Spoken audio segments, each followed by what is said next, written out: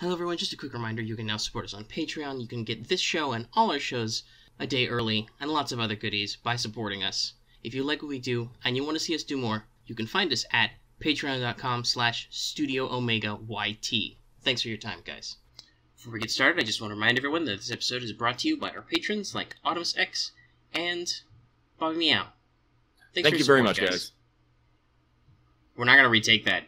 Welcome to Anime Power. Hour, the part where we talk about anime for one hour, starting already.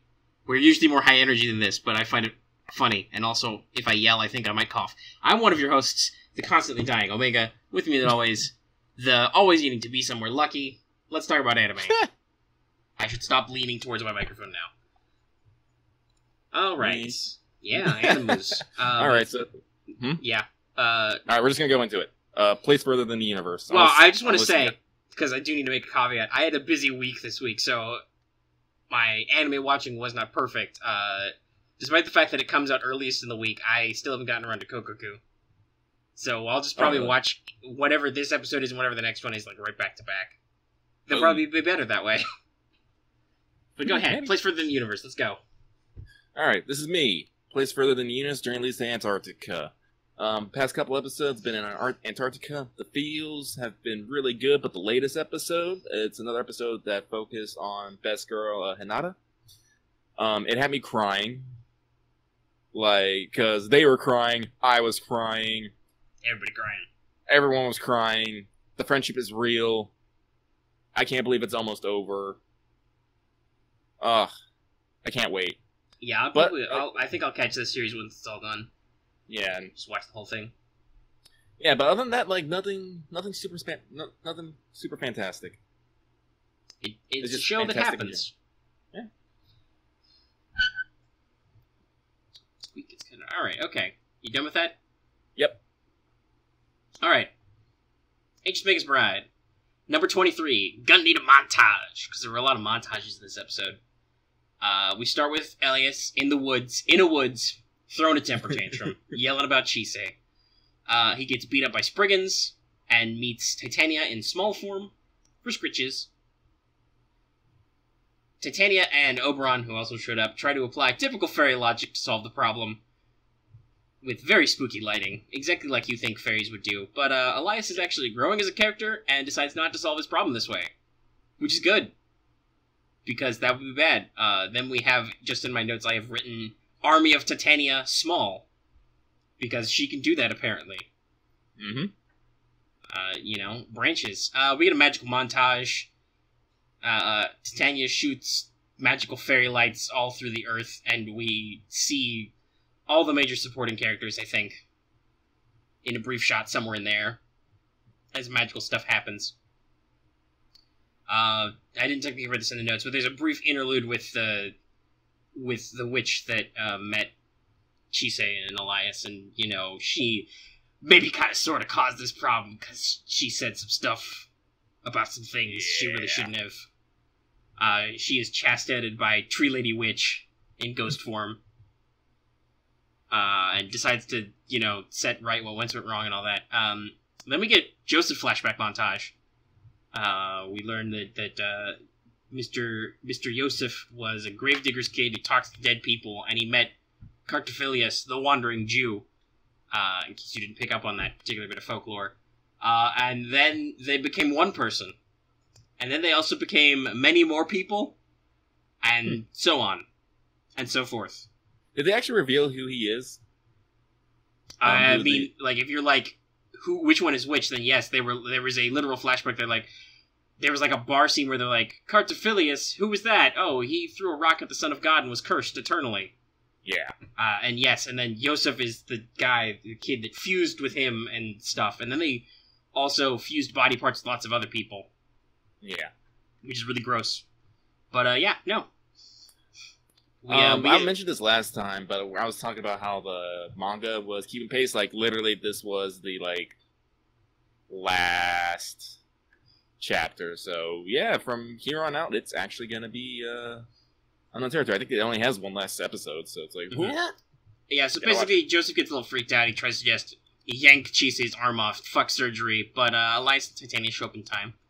Uh, as do a lot of people actually. It's a perfect Big Damn Heroes moment. Just everybody shows up. Ta-da. We're here. We're saving. We're saving people. Uh, Chise chases after Yosef. Uh, we get you know a little bit of scene. Um, I think was the witch's name like Mariko. Something I think like so. that. Something like that. Uh, she turns into a, into a bull and chases after Yosef.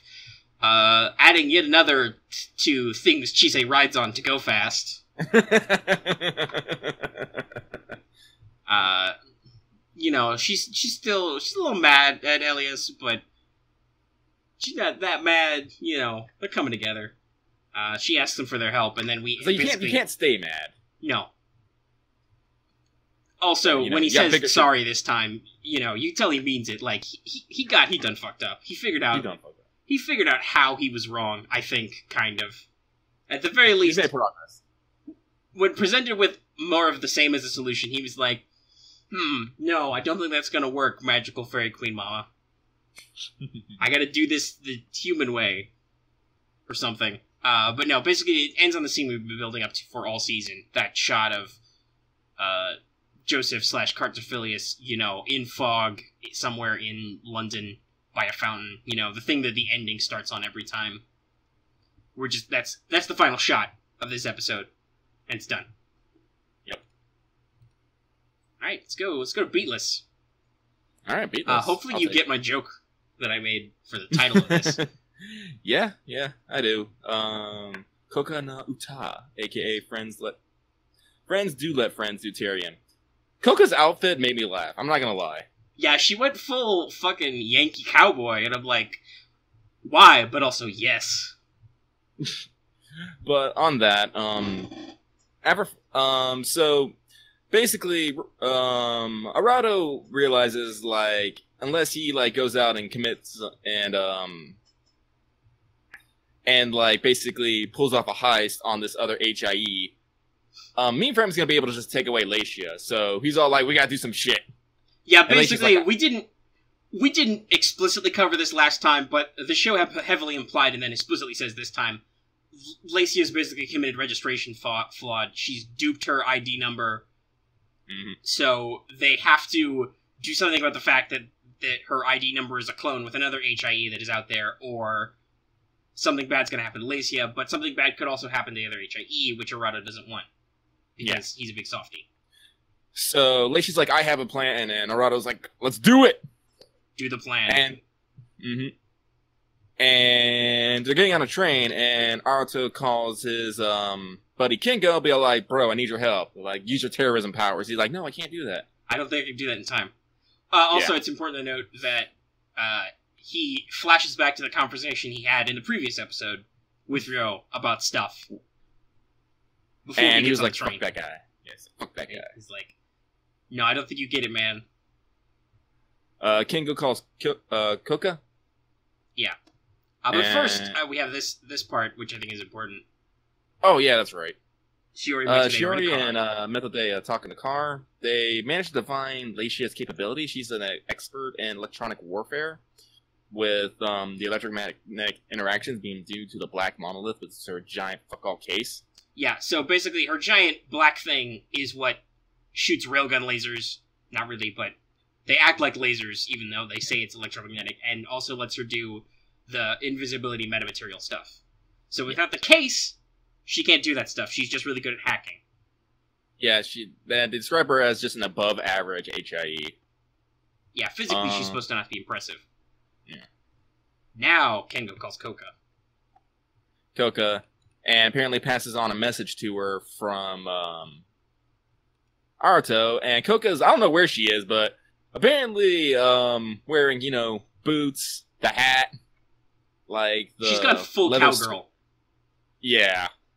She must be in the continent, uh, well, not the continental, but she must be somewhere within the physical com- confines of Japan to get there in the space of the same episode. But wherever she is, she's super It's like, cowboy right now.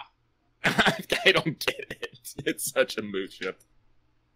And she's works. all like, she's like, "Oh, I'm so happy you can you called me." And he's like, "I only called you because my my stupid friend asked me to help him with a stupid plan because he self saved a stupid person like me from doing something stupid." He uses the word baka You know, like so- ten times in that sentence. he does. I was like, but the friendship is real. Yes. Um, and Coca's all like, "Oh, will I even make it in time?" And and no, it's no, like, they, they, yeah, the episode really is trying to sell you that this is a race against the clock here. Both physically, like time is a factor, but also it's explained that you know Shiori in her car is is also an element. Mm-hmm. Um, Aruto and Lacia explain the plane on the train. Basically, she just needs to get close enough to basically just overwrite or uh, burn out the registrations, and Mhm. basically all will happen is um like nothing will happen. It's like all be good. Like Lacia will be safe, and and the other HIE will be too. Yeah, she had a name, but I don't remember it. They only use it like Yeah. once in the episode, I think, maybe Just like twice. M. It started, started with an M. Marina, Uh, maybe. I want to say yeah, Marina. Yeah. Uh, basically, Um, if they if they scratch off her VIN number, effectively, uh, she will not be deemed as defective or a, a, a fake or something. But if they have the same number, the alternative is either Marina has to have a false number and they'll destroy her, or Alacia has a false number and MemeFrame will repossess her. Yep. Uh, So bas- basically, again, Shiori tried to give Arato the devil's choice that uh, Ryo was referring to. You know, which of these two robots do you save? Mm-hmm. Uh, and Arato and Lacia arrive at the solution to do both. Yeah. As someone with a hero complex would do. Mhm. Um. In this train ride, uh, they start talking about food, and Naruto remembers he needs to call his sister so she doesn't freak out. And in the process of doing so, finds out that um, their dad is on TV talking about a very interesting HIE social experiment. This is like the first time he shows up, I think. Yeah, I think this is the first time he's been visible on screen. Yeah. Uh, So, he does really have an interesting social experiment where they basically they build a test city and they assign Mm-hmm. HIEs to HIE roles and human roles, and then they're going to see how the HIEs feel about other HIEs chicken their gerbs. Well, I think it actually goes a little bit further. Yeah, it goes it goes because- more than that, but that's kind of the, the, the top level. It sounds like It's basically something to simulate the progression of um, HI. Well, what's the word I want to think? I want to use it of HIE um, human inter- interaction. Interaction, even the HIE interaction, and they're also using that to to to further test the HIE mayor that they came up with, because the human um, acting HIEs will then take their complaints to the human ma- to the HIE mayor, and the mayor will then make choices based upon that decision. So they're actually trying to make a cycle of seeing where a human to HIE interactions will go further in the future. And they probably don't even have to do this on like a physical scale. They can probably just literally load up all the data into a server. Because they said like 20,000. That's a lot of bodies. Yeah.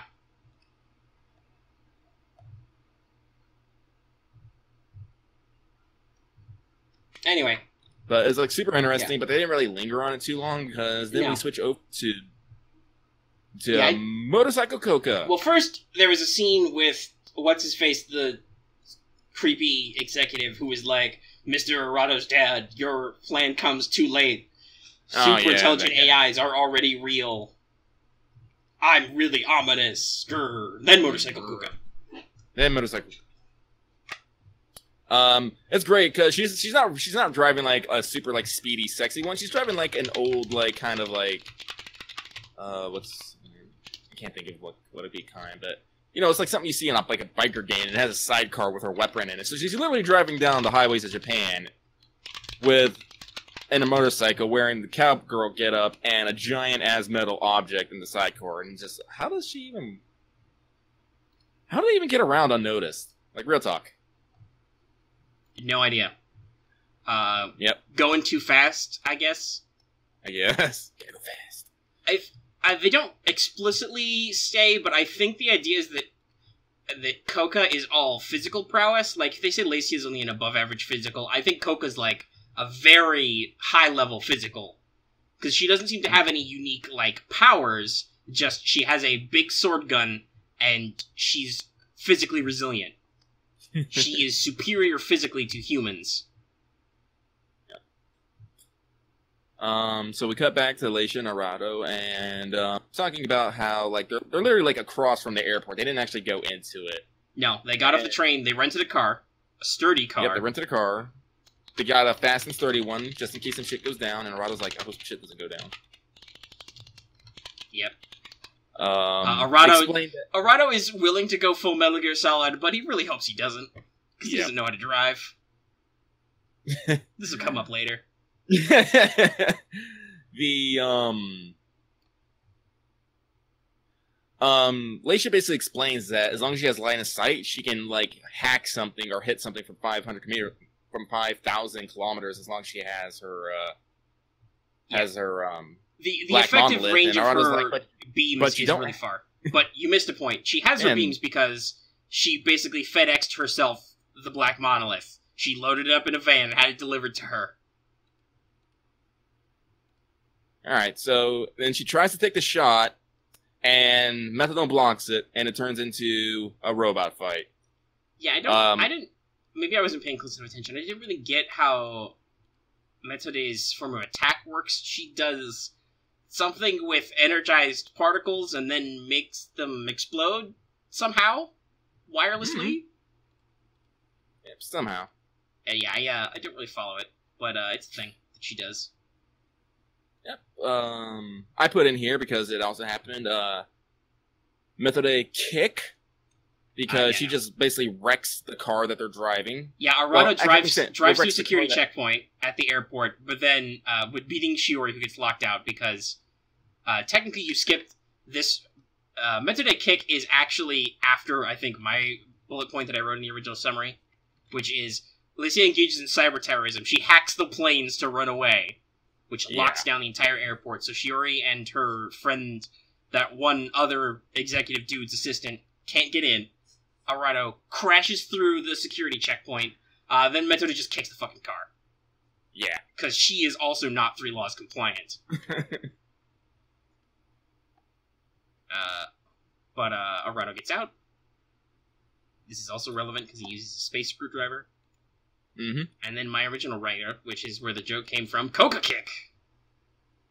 Yeah. Uh, much Coca Kick, also Coca Beams, maybe Coca Eye, possibly Coca Punch. Coca sword a lot. Verily. Yeah, no, they just Um, they have a fight. They have a big fight. a yep. Three way robot fight. Um, Lacia kind of takes a back step and assists uh, Coca. But it also seems that Lacia seems to be a step ahead the entire time. Maybe because she's a red box quantum computer AI? Yeah, uh, Lacey really showing off her super intelligence here. Uh, uh, Secretary Woman opens the crate that's supposed to have the HIE. It's not fucking there. It's gone already. Uh, Shiori's like, what the fuck is happening? And then, poor girl. Um, it needs to be stated here that while they're on, while they're um doing all this fight, shit's on fire now. oh yeah, no, so when we mentioned Coca Beam, Coca's firing her laser gun like fucking everywhere. And frickin' um Methode is like dropping her beam powers. I don't also, she's fucking fast. Like, let's Yeah, not, let's, fast. that's, her, her primary power seems to be that she, she goes at full-blown shonen anime speeds. Mm-hmm. But Shiori's trapped in the limousine, surrounded by fire, and apparently, like the limousine's fairly sturdy that like it can survive being on fire for like half an hour. But it turns out that Methode had brought a little something something in the trunk. Yeah, she, we, she ominously refers to it later. I thought it was like um, a weapon or something. Yeah, I thought it was. I thought it was going to be like her gun, but she doesn't have a gun. She just punches people and shoot, shoots particles out of her hand. Yeah. No, what was in it was a Shuri HIE, which, you know, made it look like she got out safe. Then we get into this whole conversation of how, um, well, yes, uh, Methode can't directly go against their owner, but there's nothing about, you know, letting the Senate up to, like, them die in a fire. Yeah, I don't have to help you. Yeah. Uh, I think at some point she doesn't she order Methode to, to to save her, and then Methode's like, "Lol, no." I don't actually have to do that. I can discard dead weight. I can't kill you, but I don't have to save you if I don't feel like it. But she kind of saves her anyway because she makes her, she uh, blows up a plane that literally flings the car out of the fire. I mean, Shiori gets real beat up. She gets real beat up, though. Like, you're not quite sure if she's gonna make it. I mean, she's, like, unconscious and bleeding and all that crazy stuff.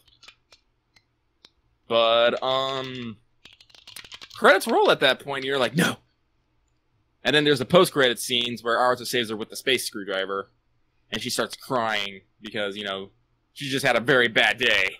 Now maybe you'll have learned to be less of an asshole. also, I wrote this in. What was this reverse cold open shit? What's with uh, what's with a major plot defining scene after the credits? I mean, I get like emotional pause or whatever, but normally I don't watch the end of the credits because that's where you know anime puts previews for the next episode that I don't want to see because they'll usually ruin it. Uh, in some senses, they they did solve their dramatic tension immediately. I guess that's because their next episode's another intermission, but still, Yeah. Like I, guys, this is this isn't like a like a cold open shit. You you should put your art contiguously with itself. You're not Marvel movies. I only saw it because I like the ending because it's ClariS who is my top tier idols. All right. Top tier. Honestly, now that I think about it, we probably should have switched because now we're going to talk about Darling and the Franxx. Because I don't think, I mean, the episode is interesting. There's a couple of philosophical bullet points, but there's not a lot to talk about. make it real talk, no matter what, no matter what, if it's something you're you've written on, you're probably going to talk about half the time anyway. Well, yeah, because a lot of these thoughts are like my bullet points, but no, I just mean like, uh, I'm, ta- I'm talking about I because I watched Beatless earlier today and wrote this, but I watched Darling and the Franxx yesterday. Uh, and if you want a sample of what yesterday Omega is like, go watch our last episode of Let's Talk Fate Grand Order number 29. Uh, you can see what yesterday Omega was like. So uh, you're gonna probably Uh, need to fill in some of the details for me because a lot of this stuff blurs together.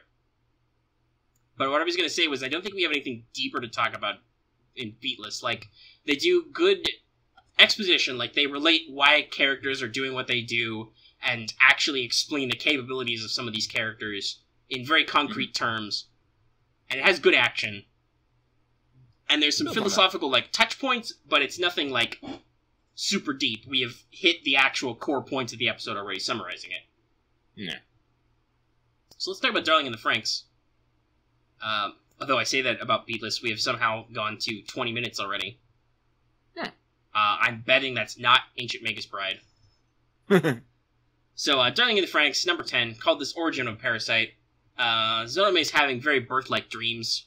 He dreams about light and tunnels and stuff. It's, it's all very metaphorical. Uh, we do have a cold open. We have some good teamwork. They kill some stuff. Uh, we have a mysterious meeting of mysteriousness after the opening, where the Um, mysterious yeah, masked figures. That that that top tier group is they're called Ape, and when they noticed when they said that, I noticed that all their masks are definitely like simian in some Mm. sort of nature or whatever. Yeah, well, we've like, we've wow. mentioned ape as like the the the governing body that commands the the Franxx for a while now. But yes, as they are the heads of ape, uh, and you're right, they do have some some uh, oddly simian masks and stuff, but they're like super masked. Uh, They Mhm. have a mysterious meeting about stuff. They talk about the children. They talk about uh, Zero Two's capability and all that stuff, and blah blah blah. About how is you know does how does uh, individualized machines make for better teamwork or something? Like they they, they talk about some stuff. Uh, they they decide to reward the hardworking parasites uh, as a method of keeping them under control. Uh, Zorome and Miku have been arguing all the way until, until the next scene. Uh, It's kind of funny because the reason why they did it because Zorome basically jumped the gun and got the kill, and then was gloating about it and got um covered Frank's toxic covered in the blue the, the blue blood, which I found hilarious because the VA actually made the blue blue blue blue blue blue blue, Yes. sound, and I was like, I'm just like, I wonder how that is has to be like in the recording box and making that sound. Like, do they laugh ridiculously afterwards? I would. probably. But basically, yeah, no, Miku was pissed off. She got robot her got covered in blue stuff, and it was all Zorome's fault. Mhm. But they basically argue. Um, there's a little bit of, of Zero Two seems a little a little off Out off her game a little a little out of it. Uh, and Hiro's like talking to her, but uh, Donna arrives and tells everyone they're being rewarded for their hard work in quotation marks. Yay! Uh, she Medals. talks to Zero Two about some tests. Zero Two's like, "Nah, brah, we're gonna do. I'm not gonna do your weird tests. I always feel don't like like shit after I go to the doctor." Uh, Nana says some makes some interesting implications about Hiro. She's like, "Oh, gee, I thought you'd be more obedient after teaming up with a certain somebody." And Hiro's like, "Excuse me, do you mean me?" Uh, like and I, obedient. I think the the quiet subtitle there is, "Who the hell do you think I am? I can't do this. You see this girl? I was like, remember when she stole her towel with my stole my towel with her foot? Also, remember how she's like as strong as twenty men." Uh, she, you, security forces literally cannot contain her because she is inhumanly strong anyway. Um, Zero Two decides to skip the tests. The rest of the kid, well, all of the kids finally, well, I okay, I'm reading ahead. The rest of the kids finally get to see the city because uh, Zero Two already took Hiro to see it. uh, and then the rest of them, they get to see it. They have their reactions. They're in their really dumb formal uniforms uh, from that episode where they met. the Apparently, other squad. Got like really excited because it's like it's really big dream to become adult and live in the city. Uh-huh. And also, uh, he he feels like it was his work because you know he was the guy who got the kill in the last episode. He he feels very important because he did he did good. He do good. um, but yeah, so they get they go to the award ceremony. It's nothing big. Like there's a, there's a couple subtle hints we're gonna get to later, but mostly it's just there's a speech. Some stuff happens. It's really short though. They leave immediately. The kids are a little. The kids feel a little down. They, They feel if they bad. walk. They asked if they could walk back so they can take in as much of the city as as Mhm. they can, and Nana's like, "Sure, okay." It'll be fine. There's definitely not some k- kind of reason why you guys aren't allowed to wander around the city. Zorome Sorry. immediately gets lost after they go and see a magma plant. Yeah, they see the actual Like- magma plants and we're like, "Oh, this is where all the magma power is." This is where he gets lost. He falls in a hole. Uh, he he hits his head. He gets uh, he wakes up. He gets runs into a house with actual people, uh, and learns some stuff about life. Some of which is literally learning, and some of which is just implied.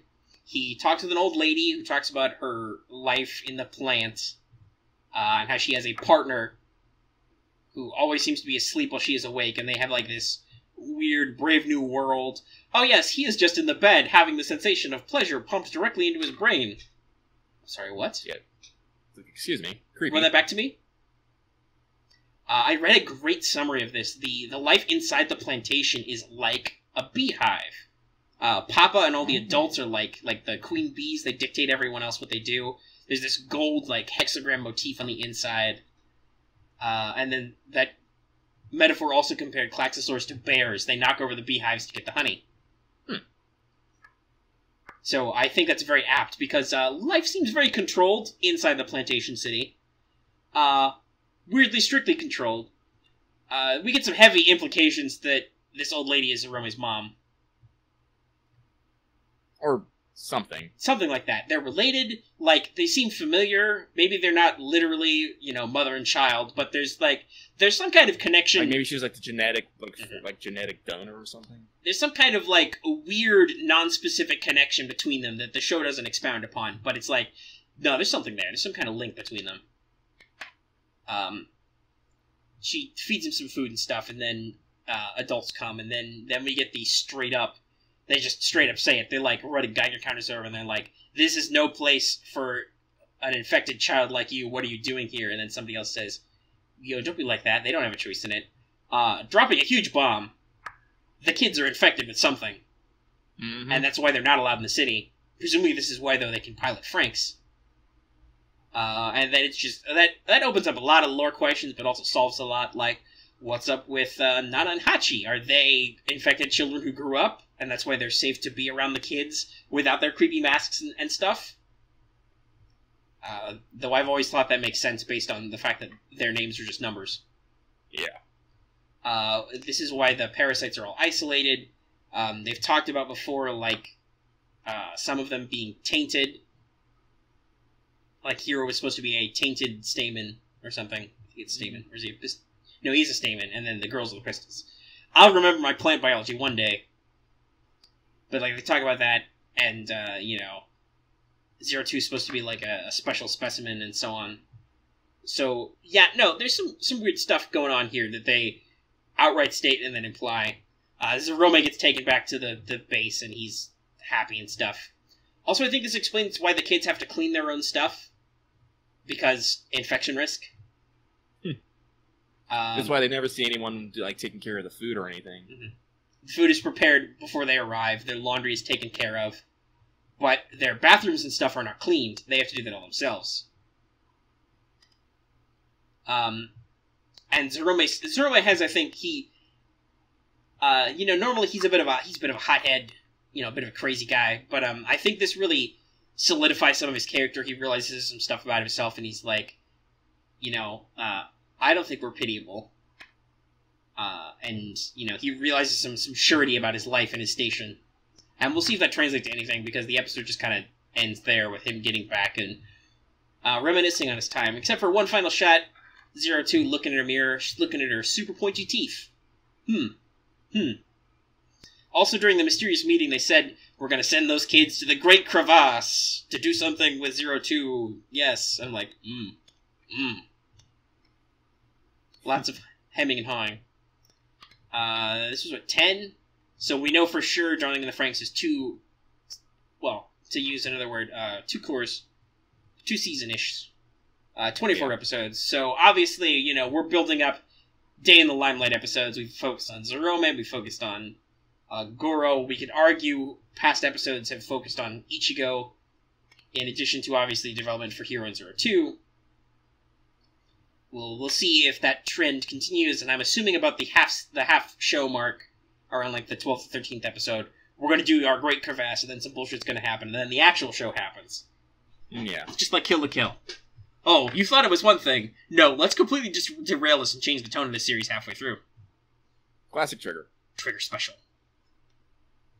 So yeah, some uh, some shit's gonna happen, uh, and we'll, we'll we'll probably get more exposition details later.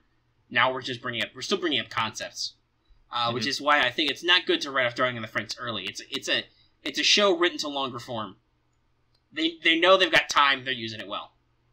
All right, let's see. We're at about thirty minutes, so that's good. Uh, Lecky, tell me about the Hakata Tonkotsu ramens. All right. Uh, number 10. Is it about baseball? You know the answer. We start at the batting cages. Bomba's there, batting, runs into the ninja, who's pitching. They start bickering. Lynn's back at the office and runs into Bomba's old uh, friend, Sari. We say old friend, but it's literally his ex. Yeah, literally, literally like five minutes in, they're like, "Oh yeah, no, we're exes." That's explicit. Um, turn, turns out she was an ex because uh, she was hired to kill him. They don't. She doesn't explain why she doesn't though. Um, she talks about Bomba a little bit and how about Bomba like was pretty crazy back in the day, and it turns out he's still pretty crazy because he comes back and basically informs Lynn that he's gonna take down the uh, Kankyo Association because they're after Sayuri, they're after him, and they're after Lynn. It's like Bama's like, mm, I don't need that on my plate. I don't need that in my life. Let's just Nah. let's just kill them all. So they, uh, you know, they land up a couple targets. Uh, yeah. Um, Hitman Consultant has an awkward meeting to also take down the Kankyu, so Yeah, they can make themselves some- look good to the Chinese. yeah, that's it. He's meeting with some kind of Chinese mafia, and they also want to take down the Kakyu Association. Yeah, they have a they have a lovely time in a swan boat because they don't know where to have a secret meeting. Yep. Um, so uh, Bomba and Lin like go to town to get some of the um, Kankyu associations. They get one, and the um, let's see. Actually, how did it go? Uh, so for the first guy, Did the submarine? Yeah, the submarine ninja got the other oh one. yeah, yeah, I, I Yeah, realized now that I so said they that. I didn't write that down. I should have. There's Yeah. there's two sets of guys, and they do a lovely thing. So Lin and Bomba show up to one guy first, disguised as a lawyer and his secretary. Uh, Lin showing off Lin looks pretty both good. his voice acting and cross dressing skills. Uh, then they just murder those guys straight up. Yep. Just full blown hitman action. Everybody's dead, Dave. um, then they go across town to go to the other guy. Meanwhile, the submarine ninja has totally taken care of that guy. He just stabs him in the heart and drops a shuriken at his feet. Because Mhm. clearly he knew I'm not going to hit him with the first shuriken throw. He He's still a slow starter. and, and then they literally go to each other's, Crime scenes, yes. and then like, what the fuck just happened? But more importantly, submarine ninja leaves a shuriken at both kill sites. Yep. And so the Kakyu are all like, ah, shit, this guy's coming after us. And they decide to hire a Chinese hitman to take out the ninja.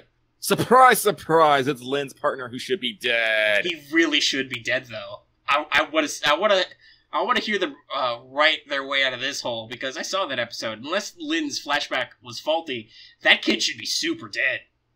He does have a sweet scar over his eye. Where Lynn slashed him the first time, which I could have sworn would have taken out the eye, but I guess not. But also, he got he got stabbed and cut a couple times. Like he really should be dead. But anyway, hmm. Lynn again has like a has a crisis of relations, I guess I should say. Because, you know, him thinking about, you know, this his Chinese best friend, who, you know, has just shown up, has made him like wary of being betrayed again. So he's about to like, you know, to to book out of town when the mushrooms are like, hey man, I need your help. And he's like, I, I don't want to. He's all like, eh, you having a fight with Bamba? And he's like, no. shut up. Which is actually true. He's not really having a fight with Bamba. Lynn's just having an existential crisis. Yep. And basically, so it goes back, shows the Chinese hitman killing some people, killing like one of his informants. And Lynn's like, Gasp. Tim! No! How? I must find him and I must stab him. Wait, no. Yep. That's the other guy. Who Yeah. literally is like, I must find this man and stab him. About Lin, Though he uses whatever Lynn's original name was that we don't remember. Malme? No, that was his sister. No, his sister was Chow Mei. I Hmm. think his name was Meow Mei. Was it? Whatever. Yeah. Oh, yeah. But, you know, because go to the Chinese dude, like, killing some more dudes. Well, to get, because he got the info on Lynn, because apparently the Chinese dude is looking for him too. Hmm But he's trying to. I didn't. Again, didn't write this down exactly, but he's trying to lure out the submarine ninja by Yeah. killing those Chinese mafia dudes.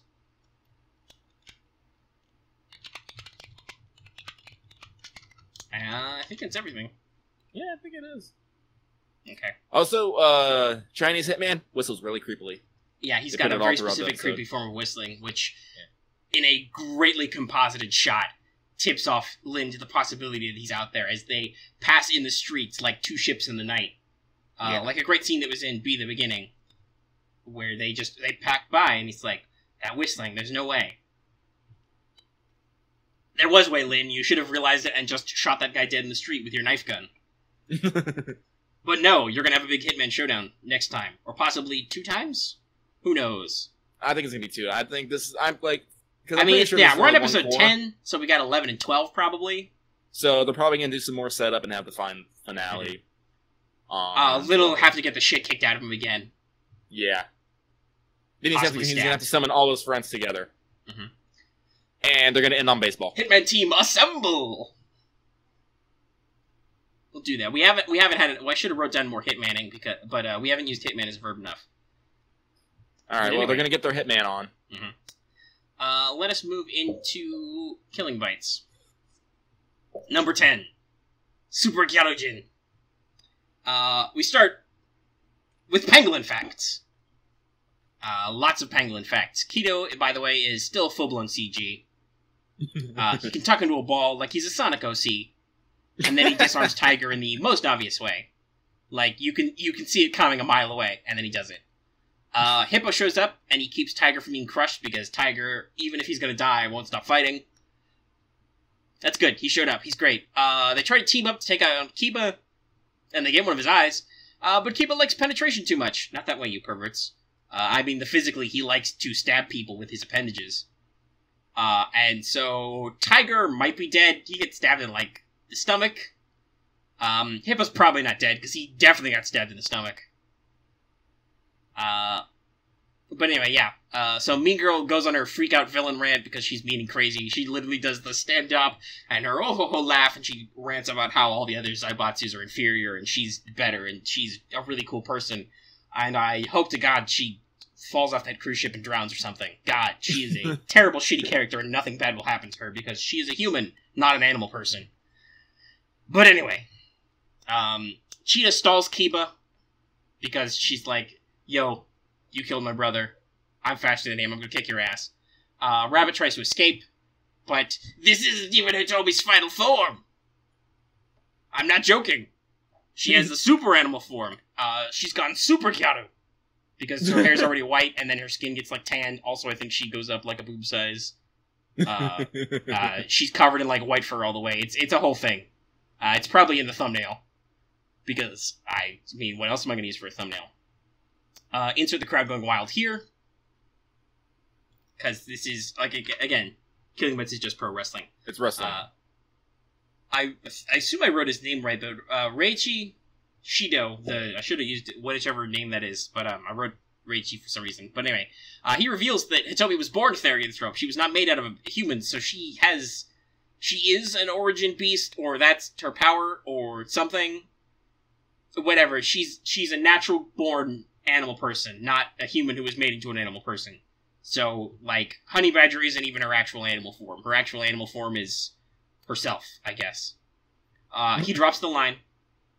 And then the back half of the episode, basically to pad out so our, our super fight can go in 11, probably, um, is we get Hitomi backstory flashbacks. She is an adorable animal child who's like a literal feral child who steals food at super fast speeds. Uh, and Shido runs into her and he like feeds her and stuff and he talks to her and he gives her a name because she didn't have a name before. She was just the wild one. Uh, and then she almost gets lynched and uh, takes the bullet for her and I guess um, crazy announcer lady for Killing Bites has also got to be like a Therianthrope or something because she beats up a lynch mob. So I guess she's superhuman. Uh, maybe we'll see more on that later. But uh, yeah, no, we just get a flashback as to what Hitomi's backstory really is and why she appreciates Shido so much and blah blah blah, and the episode ends. As uh, she reveals how super fast and strong she is. And she's like, ooh. Oh, joy, an unbreakable toy. This'll be fun. Because uh, super animal Hitomi is definitely having a lot of fun. Yep. And that's that. Yep. Uh, I have I mentioned it before. Didn't catch up on Kokkoku yet this week. Um, you want to say anything about these other couple of shows here? Yeah. Um. After the rain, um, as I said, they've they've reached an interesting stride. Like I don't know if this is only going to be one, two, just the way the pacing's going. As I said, they've kind um Akira and Kondo have settled into a sort of friendship. Now they're even visiting um secondhand book uh uh book fairs, which is really cool. I would actually like to see this. It's like a, just a big outdoor sale of books. Super nice. The weather's great. But um, I didn't really cover this because I didn't do the uh, episode last week. But Kondo's like really into literature. He has like famous author friends. They're part of a literature club. Um, he knows like all. He's like he knows like he's super into classic Japanese literature. Has a bunch of books, and he's apparently tried his hand at writing. But as you find out, as he gets more obsessed with the book fair and kind of starts ignoring Akira, you realize that his love of literature also kind of ruined his life. It's like one of the one. It, it's severely hinted that it's maybe one of the reasons why he got a divorce in the first place. Like they still haven't come out out and said straight out, but it's heavily implied that he's putting more effort and love into um, writing than it was to his own family, to the point that you know they left him. But they also talk. Um, they do a really sweet moments because apparently um, an antique store co-signed a bunch of old postcards over to them, and they were remarking on how short they were. And Kondo explains the um, apparent world's um, shortest letter, which was by uh, Victor Hugo, who basically sent his editor a question mark and Fucking A. s- asking basically, "Is my book selling well?" And his editor editor just sent a response an exclamation point, Yes. and it's like, "Yes." Excellent. and they, they, they just um, talk about like how these people were so were close enough that they didn't they didn't need words to relay their intentions and you know and how that's a wonderful thing. And of course and of course um kondo kondo wanders off. So akira sends him the text message question mark to which he responds exclamation point. And then he shows up apologizing. And you know it's super sweet, super cute. It's like I'm hoping, I'm kind of hoping they go on to two cores, but I also kind of feel that they might drag it out a little bit much because they still have like a lot of the things they can do with both characters on like finding out like who they are, having their feelings develop. But this is a show. This is based off a shojo manga, so I was about to like say, uh, what's yeah, what's the what's the basis for this? So it really depends on how much of the, the manga story there is and how much they want to cover. Then, yeah, by the way, I'm sure there's some uh, pronunciation purists. I I sh- I surely like to say uh, manga as like it's supposed to be pronounced, but I am an American who is talking a lot. So if I say something like manga, you can you can expect that I can suddenly turn southern at any moment. That's my final form. Um, the the manga is up. Like I just pulled it up real quick. The manga is um at nine volumes right now, and I think it only it has a twelve episode um runtime. Looking at it real quick, but I could be wrong. All right, well, we'll see. Um, let's see. Record Grancrest Grand Crest War. Actually, that was gonna be my plan tonight, but um, plans change. For reasons. Slow start is being slow start. It's it's soft, it's warm, it's cute. Not But, very fan servicey, but you know, you still get you still get the feelings of uh moe from these girls. Very good, very nice. Top tier. But the way you've described it, it's not it's not necessarily a super plot driven story or a show. Nah. It's not. It's like it's it's it's pretty slice of life with just uh, with a with a slight serious undertone.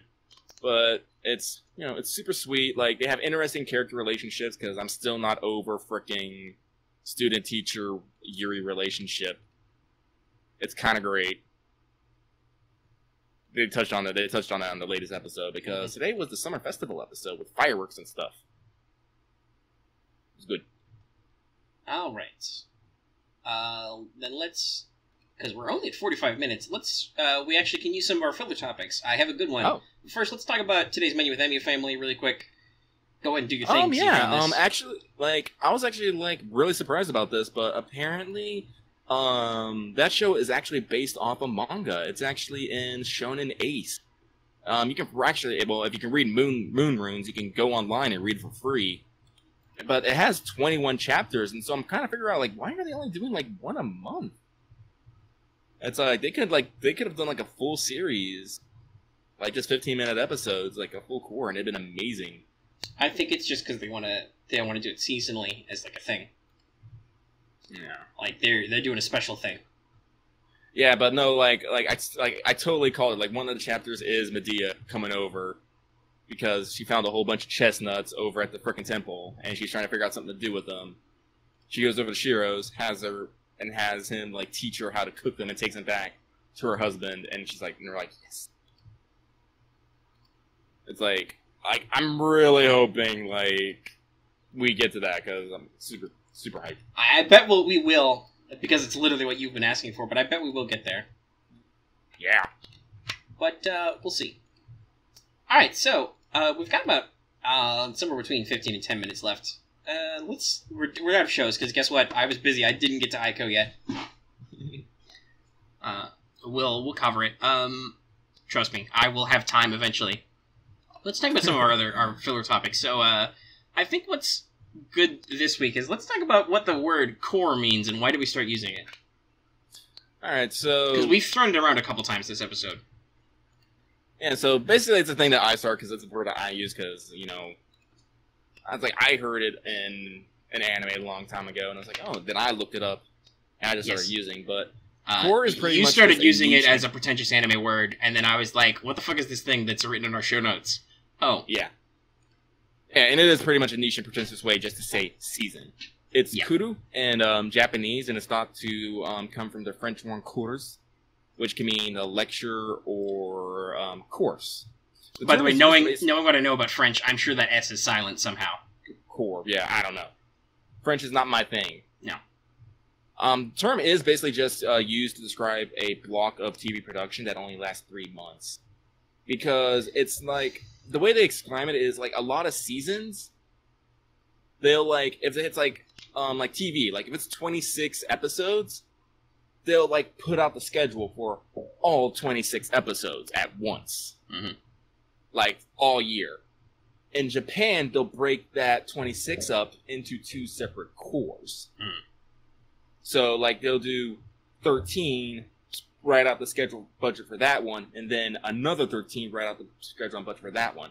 That way, they can see how the first core is doing and what needs to be, and, and see if they need to make any changes into the second core. It also like, and it's a, Yeah. it, it helps it split up into the like the seasonal slots Mhm. too. So So there's like like right now we're in winter. This is their winter production season, the winter core basically, where shows start in winter, they're produced earlier in there, and then they air throughout of it, ending in spring. And then the spring shows that were that are announced and released in the spring section come out, and so on and so forth. Yeah. And then that basically uh, between those four blocks, you basically have a a year's worth of shows because remember, there's 52 weeks in a year. Mhm. So uh, if you, depending on your your episode breakout, like, let's see. So four quarters of twelve episodes would be forty-eight, which is probably good to take into account, like holidays and weeks off and stuff. That's it. But that also could be a little weird with production because a lot of times episodes will go 13, sometimes in 11, sometimes they start late. Like um, last are, encore, are ten. Oh, yeah, last encore didn't uh, start until like several weeks into the into the winter core. Yeah. Um, So- and then of course there's stuff where like they do do like a, a what we would consider a traditional season type release. Like I remember back in the day, like uh, there was a 24 episode. Unless I'm grossly yeah no I'm am I right am I wrong? What? I, hold on run this by me don't fact check me. I'm pretty sure Code Geass was like 24 episodes and then 24 episodes right? I'm Yeah. not misremembering that. Yeah, okay. So there was a production that was Code Geass that was two cores worth of episodes, but it was a whole season. They planned it that way originally. Then it stopped, and then they waited a little bit and they released a second season, R2, as a block. And then sometime there will be a third one somewhere. This year? Probably. Probably. I believe they announced it for this year. They already have a trailer, so they must have already done some pre production.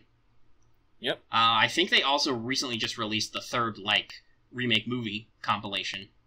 Which is the thing Japan also does, in case you haven't picked up on that. They will take older anime series, abridge them down into movies with much higher production values, and uh, and release them at like three to cover the entire length of a story. Yeah, I was actually just thinking about the Gurren Lagann movies, both of them. Uh, which I haven't seen. I probably should sometime. Oh man, you need to see them. Like the ending is so much better. That's a good sign. Uh, I'm I'm one of those people who who saw the ending of Gurren Lagann and was like, well, I get what you're trying to tell me, but this doesn't mean I like it. I'm not. I see what you're doing. I don't have to be happy about it. Good old twelve year old me and my deep anime opinions.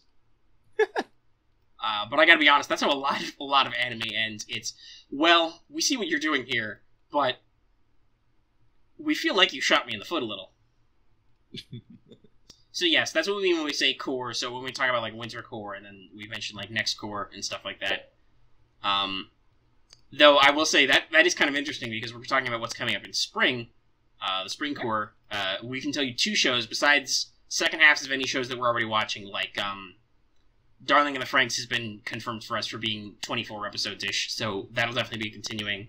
I think Beatless is also, so that'll be continuing. Mhm. Uh, I don't think Ki- I. I'm pretty sure Killing Bites isn't. Uh, if they if they are, it's going to be like after a break or something. Cause, but I think they're telling a complete story this time, and then I don't know if the manga's far enough enough to keep going. Uh, likewise, I'm pretty sure Coco is Yeah, going to yeah. end, but um, we're You'd definitely watching. Persona Five the animation. Um, some uh, you can be surprised. Like sometimes, like when a show does really good, even if people apparently hate it, it'll still get like an extension. Like, um, I watched Black Clover. I don't talk about it because apparently no one likes it. Like over here, I don't know why. I've, I have heard that that Black Clover is not well liked. Uh, I just I don't have yeah, but despite that, it went from being a uh, 13, like they were only going to do 13 episodes, and like, nah, nah, nah, we're going to pump this up to 52. Well, also like- that happens with with some lots of other series too. Like um, that was the thing that that did happen to Code Geass, where it was like they realized, holy shit, this is going to be a thing, but we have to like think about our think about a second season, and then the second season ended up with like two different writings, and uh, got a little goofed up. I still like Code Geass. I'll fight you. Um, but no, like you can Yeah, tell there were some shifts in there. That happens to a lot of series. Uh, I think that also happened recently with Iron Blooded Orphans. It was originally going to end at the first the first block, and then it didn't, so it kept going. Yeah. Well, as I said, like I'm I'm happy with it too. I mean, as I tell everyone, it's not the ending anyone wanted, but it was, It worked. But I'm talking about the the Spring Core. Uh, we're watching Persona Five the animation. You can't stop us. We're going to talk about it. We're going to put it on the show. yeah, we are. It's it's set. We're probably also going to start replaying Persona Five also. So, yeah. Um, prepare for um prepare for Persona Five soundboard. Uh, I already have it. I just don't use it. Uh, but oh man, the Who Boys, Hey Calories, you'll never see it coming. It's all gonna be there. Um, but also, speaking of like how those can be interesting, uh, Boku no Hero Academia is coming back. I'm uh, actually surprised they didn't actually do consistent um consistent releases because I said I read the manga and they're pretty far ahead. They got they got some space. They got some space, but I think they can also cover that space quickly, depending. So I think some of it has to do with like the popularization. So like the first one was twelve episodes, I think. Mm-hmm. tw- around 12 episodes. It was a single core. It, it ended on a nicely self-contained story. And then it continued later, like a couple a couple seasonals later, but that went for like 24 episodes, I think. Yeah. It went much longer. The budget was way higher.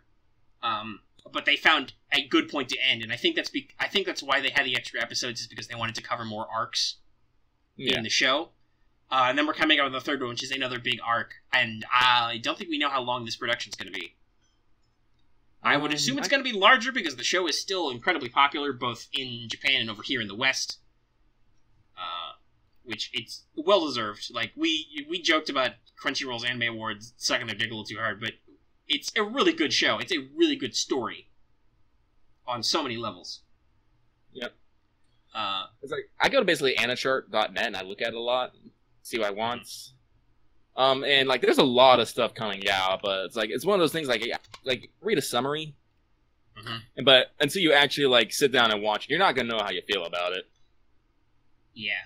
Uh, and I gotta, I gotta be honest, I don't necessarily know uh, about other shows like in the in the spring. Uh, they're doing like a spin-off of Sword Art, which is just oh yeah, I it's think this, um it's um gun it's a sword art sword art online alternative, Gun Gale Online. yes, which is so the GGO season was okay. Uh, Sword Art Online's a, a very weird show where they tend to have good, strong first half of a of a twenty four episode production season, and then the second half is not as good. Uh, I feel that way about both the first and second series of that. Uh, A lot of people like start fights over Sword Art Online, so mm. yeah, uh, Aincrad was good. The fairy stuff was not good. It it was it was not. It tried too hard to make shit serious, and it made it dumb and uncomfortable.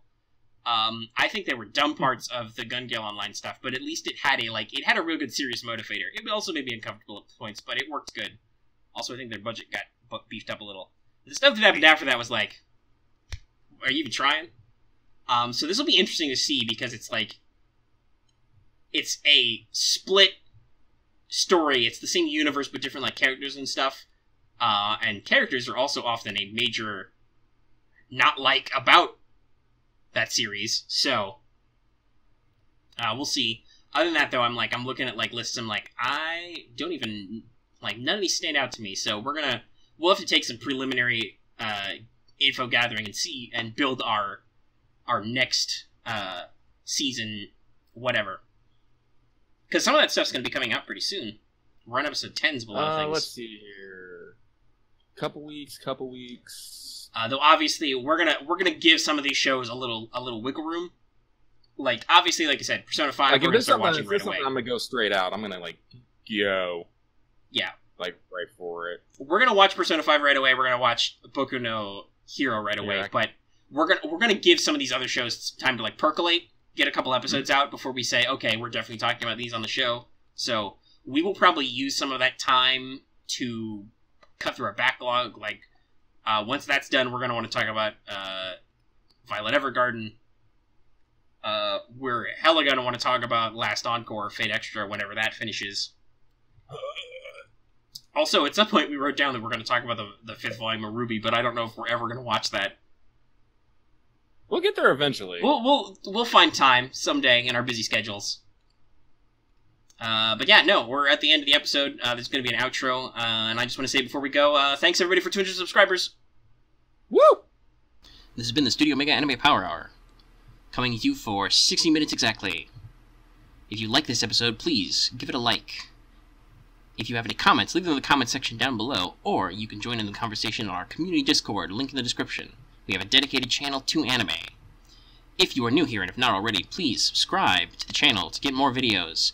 They are the best way to keep track of what we do. Other than supporting us on Patreon, you can get this episode in audio format for